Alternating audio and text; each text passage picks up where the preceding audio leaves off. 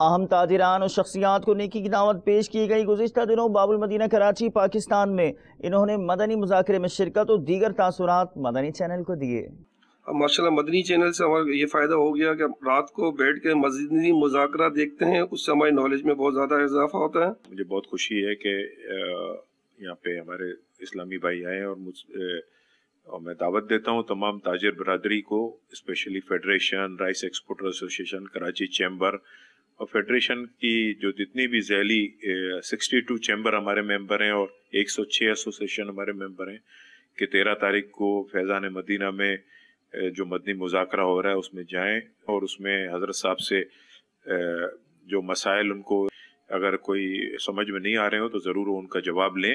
میں یہ کہوں گا کہ میں مدنی چینل کو کافی شوق سے دیکھتا ہوں اور مدنی چینل جو قومی سطح پہ اور اسلامی سطح پہ اسلام کی خدمت کر رہی ہے اور لوگوں کو جو موٹیویشن دے رہی ہے، یہ بہت ضروری ہے۔ لوگوں کو اچھائی کی طرف راغب کر رہا ہے۔